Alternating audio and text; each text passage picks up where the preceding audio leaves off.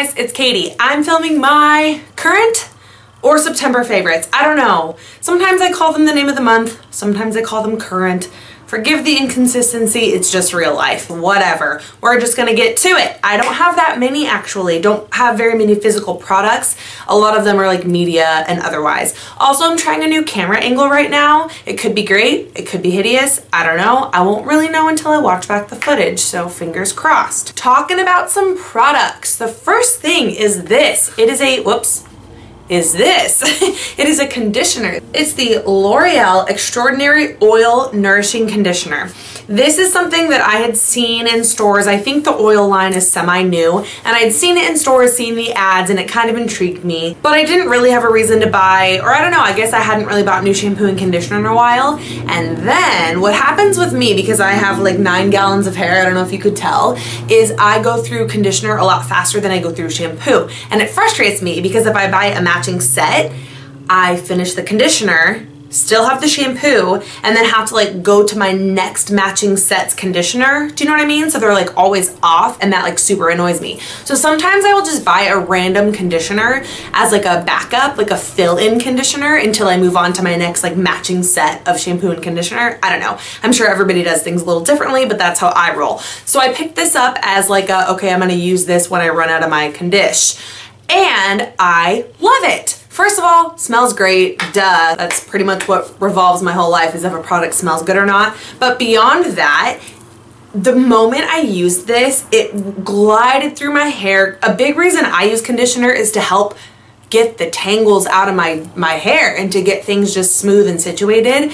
And it definitely did that. And then the next day, it was silky, silky, silky smooth. And ever since I've been using it, still silky, silky, silky smooth. I have naturally straight hair, but with that being said, the older I've gotten, hair changes. And so I've started to get a little bit more natural kind of texture and wave. Right now I've literally done nothing to it, but I can tell it's shinier, it's a little bit smoother, a little bit softer, and I definitely think this is why. Recommend it. It's cheap, it's drugstore. I want to try the shampoo now too. Moving on to my favorite lip balm. This is something that is actually Travis's. I bought this for him and I haven't stolen it from him per se, but I definitely like to, you know, reap the benefits as well and borrow it. This is from Jack Black. It's just the stick natural lip balm in the scent Fresh Mint. Jack Black is like a men's skincare line. I'm pretty sure their lip balm is one of their famous products or their popular products, but most of their lip balms are the kinds in a tube that has almost like a Vaseline feel. And I remember I did not get that for Travis because I figured it would leave a little bit of like a, a, shine, like a gloss. And I'm like, oh, he's gonna want no part of that. And they only had this one stick one in the whole range. And so I'm like, okay, let me try that. It is amazing. I'm the type of person where I have a lip balm next to my bedside table, on my desk, in every purse. Like I am OCD and I need to have my lips with like chapstick or lip balm on at like all times and this is probably the best one I've ever used. I have some other ones in tubes or in different forms that are pretty good, but this not only smells really minty and fresh, it's so smooth, it's like butter, it melts into your lips and then it really just like lasts.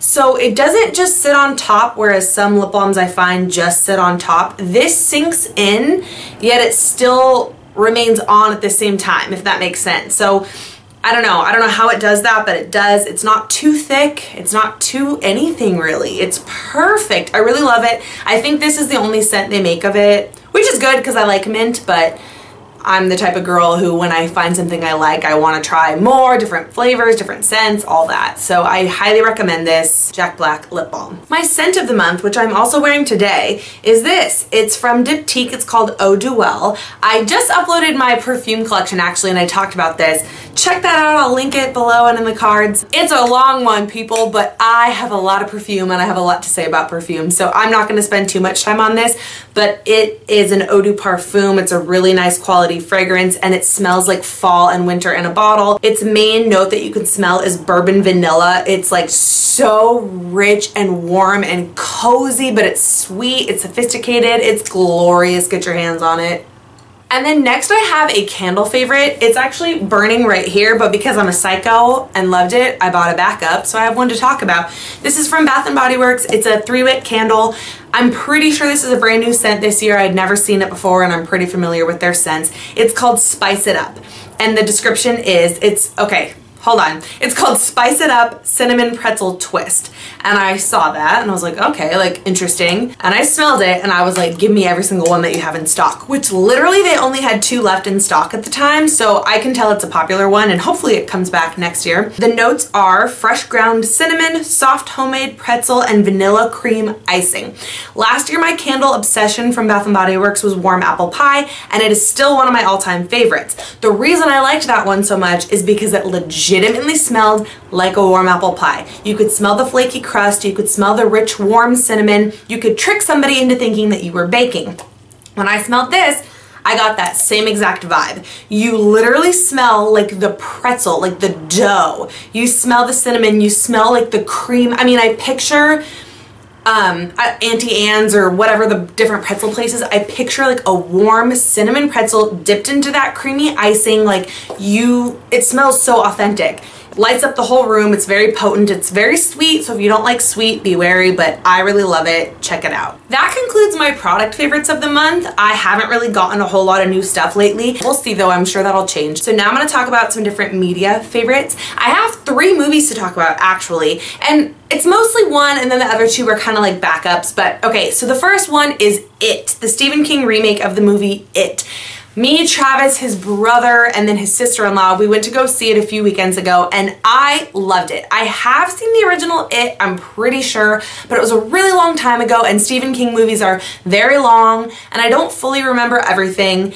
but it's the Scary Clown movie. It has one of the kids from the show Stranger Things in it. It's set in 1989, which is the year I was born. Hey, hey. And I am the type of person who likes scary movies.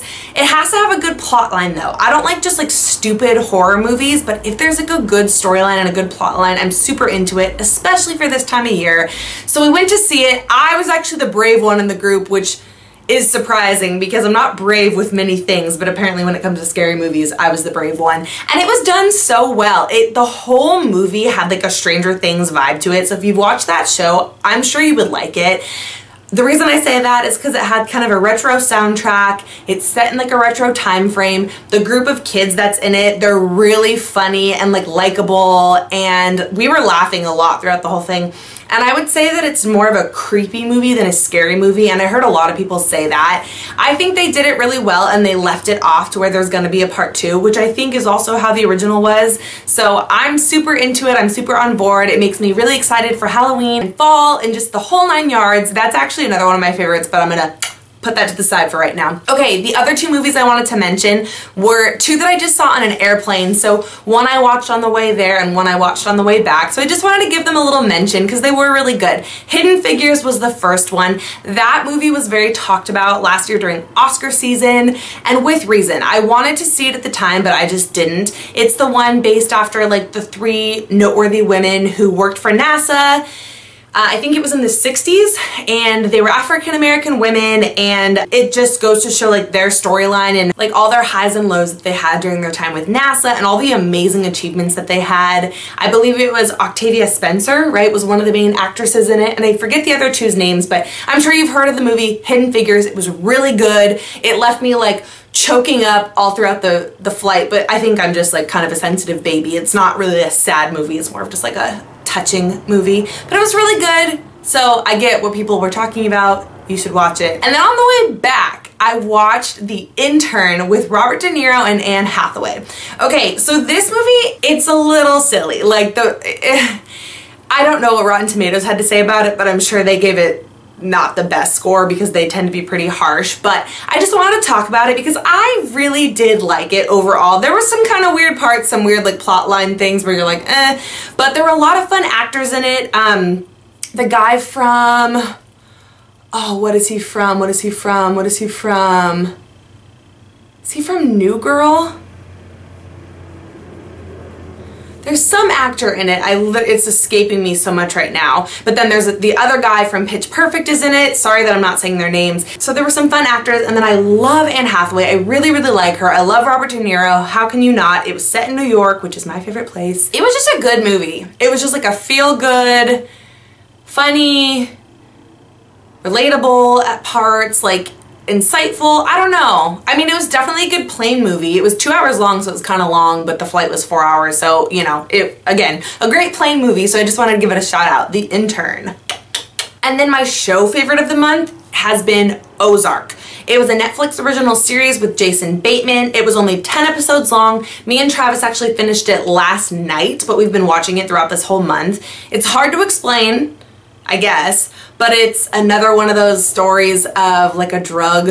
I, I don't even know if I know how to explain this. Like, I don't think I even know the terminology. Like a drug cartel guy and then a guy who's working for him and laundering money. And if you've ever seen like Breaking Bad or Narcos or any of the ones that are remotely related to that, you know that money laundering and drug cartel obviously there's bound to be lots of drama and lots of scary things and lots of dark crazy things that happen and this was no exception. I really really love Jason Bateman and the other actors in it were really good and like really cool characters. It's set in Ozark, Missouri, which is like a little lake town and I don't know, it's definitely worth a watch. It's a little bit ominous, which I think is good for this time of year, so you should check it out. I'm gonna mention two quick songs and then I have one final favorite and then I will let you carry on with your day. The first one is by the good old-fashioned Aly and AJ. Do you guys remember them? Potential breakup song song, Chemicals React. I don't know. I really loved Aly and AJ back in the day and they're back with a song called Take Me and I love it. It has a major like 80s retro pop vibe.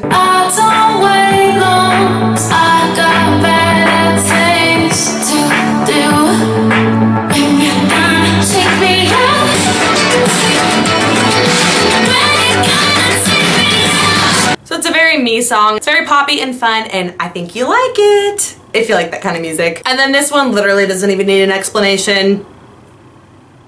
So I'm not gonna give one.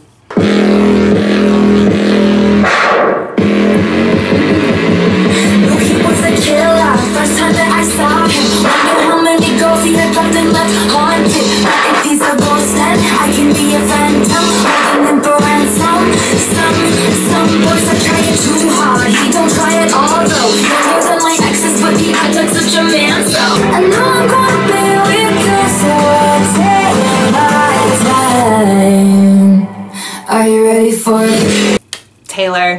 Okay, my final favorite is kind of a silly one, but it's just the fact that it's fall. Oh my gosh. I grew up in Phoenix, Arizona. I spent the last six years of my life in Orange County, California. Guess what? I've never experienced fall until now. Portland, Oregon, coming through with the fall weather. So I've heard people talk about it before, and it's a real thing. Like all of a sudden one day it'll go from being 80s and 90s to like hello, it's 50 degrees outside and it's cool and crisp and the leaves change and I'm in awe. Like I'm in utter awe of the fall weather. With that said, we're having a brief little stint of like a mini heat wave. I think that's semi-normal and probably like, I'm not even gonna go into the politics of things, but you know, other reasons behind that. But just in general, fall, I'm, I'm just so excited. I'm still very nervous for winter. I'm very nervous for all the rain that people talk about. We will see how I hold up. Allegedly, it's gonna be a bad one. Allegedly, there's gonna be a lot of snow. I don't know the first thing about snow.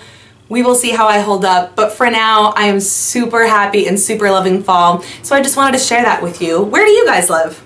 Probably a lot of you live in California, Arizona, I don't know, but where do you live? What's the weather like there?